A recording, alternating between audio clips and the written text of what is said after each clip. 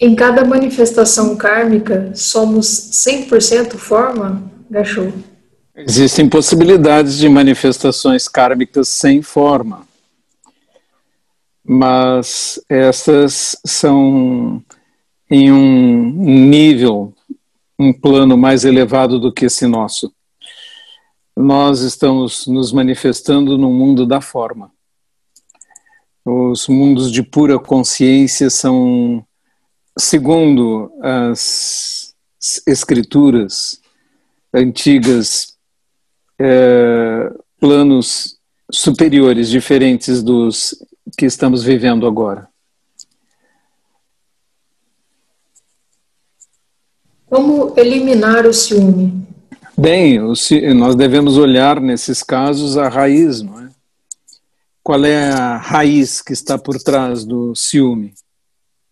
O apego, o desejo de posse, uma mentalidade controladora e possuidora que está ligada ao eu, ao meu, minha, e essa essa mente de tentar possuir as coisas, de tentar agarrá-las e controlá-las, é uma mente muito sofredora. E o ciúme nada mais é do que uma manifestação do apego ligado a esse eu doentio que quer possuir e controlar. Sensei, há algum tempo durante a prática tive a sensação de estar flutuando no ar. Foi uma sensação estranha, porém agradável. Isso é bom ou ruim? O que devo fazer se acontecer de novo? Não faça nada, porque na realidade é proveniente do fato de você estar é, sem referências, por estar imóvel.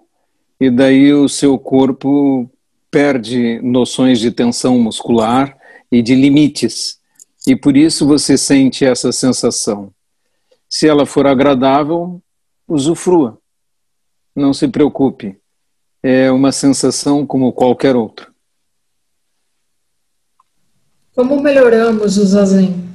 Fazendo mais. Fazendo mais vezes. Quanto mais fizermos, melhor ele fica. Quando nós fazemos um cestinho, um retiro, nós fazemos é, uma quantidade muito grande de zazen. Eu já fiz é, retiros em monastérios, né? Sexins para monges. É, me lembro de contar na planilha um, dois, três, quatro, cinco e dezesseis, dezesseis azens por dia. Bom, é melhor fazer um de cada vez, não é? Porque se você ficar pensando em 16, não vai aguentar. Então, nós, praticantes leigos, se nós conseguirmos praticar uma vez por dia, todos os dias, isso já é bastante bom. Aqueles que conseguem fazer duas vezes por dia costumam apresentar grandes progressos. Sensei, assisti a alguma fala sua esses dias, mas não consegui reencontrá-la. O senhor citou uma fala de Nagarjuna que dizia algo como: se eu dei a entender que afirmei, me aponte que refarei a minha fala. O senhor lembra qual a fala e de onde leu essa citação?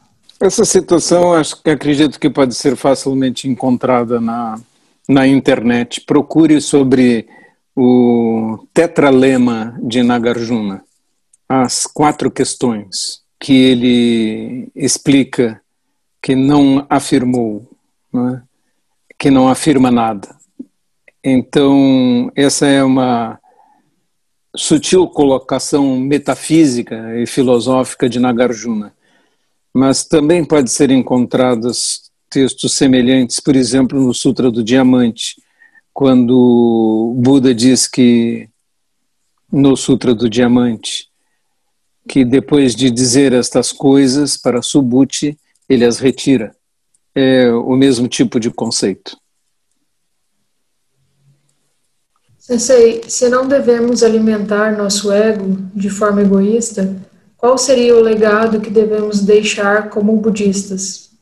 Deixe a continuidade da sua linhagem, deixe a sua linhagem viva, transmita os ensinamentos à luz para todas as pessoas que você puder, ajude-as a procurar, ajude-as a encontrar um professor, faça o que você puder, mas não se preocupe em deixar um legado, porque você será esquecido com o tempo, como todos nós. Hoje eu estava lendo alguma coisa sobre Tarmelão.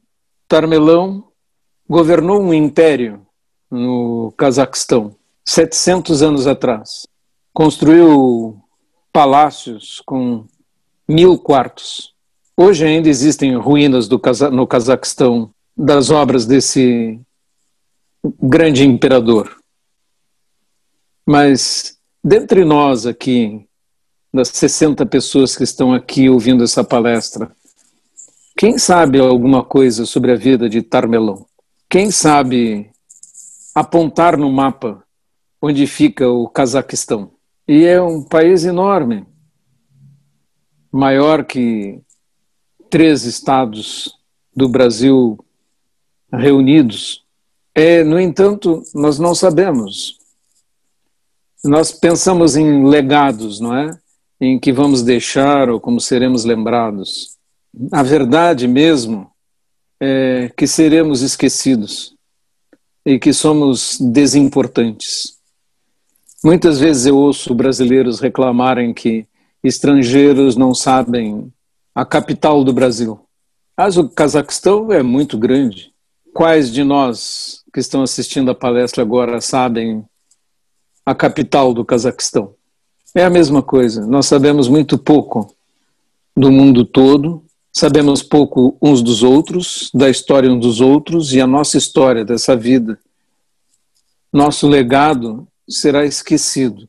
Pode ser, como é o caso de uma linhagem budista como a nossa, que tem 2.500 anos, que saibamos o nome dos mestres, mas saber das suas vidas e detalhes, agora, já é estudar alegorias e mitos Repetimos seus nomes, mas na verdade sabemos pouco. Por isso, no sábado de manhã, estou contando a história dos 57 primeiros patriarcas do Zen. Estou indo do ano 500 antes de Cristo até o ano 1300 depois de Cristo. Estou percorrendo aí 800, 1800 anos de história, não é? Mas se não fosse o fato de estarmos difundindo os ensinamentos de Buda agora, nem os nomes dos patriarcas nós lembraríamos. É tudo isso é para que nós nos demos conta da nossa desimportância como indivíduos. E você mesmo não lembra da sua vida passada, nem seu nome, nem o que fez. É bem assim. E de certa forma, que bom que é assim.